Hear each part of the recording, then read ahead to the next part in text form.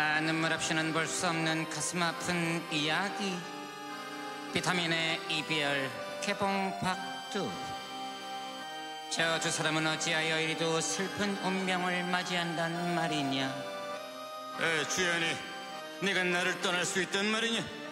준호 씨, 저는 더 이상 준호 씨를 사랑하지 않아요.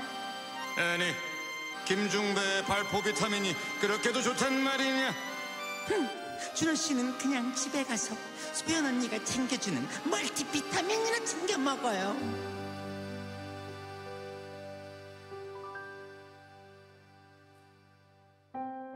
두 사람의 슬픈 이별 이야기가 지금 바로 이곳에서 시작된다.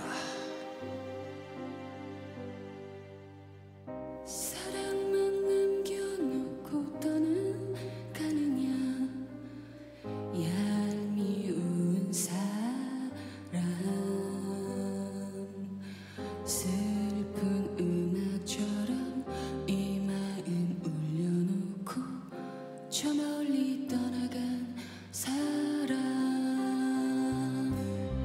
미련만 남겨놓고 돌아가느냐. 얄미운 사람. 미련 때문인가? 멍들은 이내 가슴. 아픔만 주고 간 사람 정 주고 마음 주고 사랑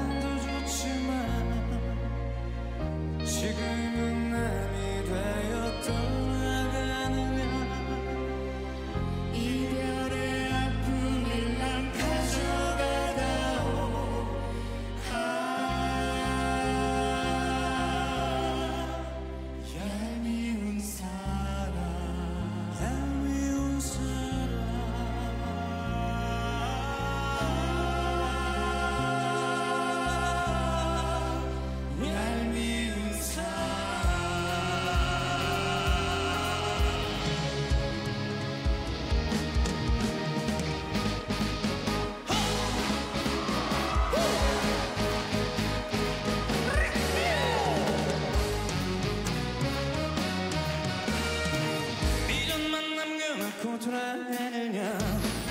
야미운 사람 미련 때문에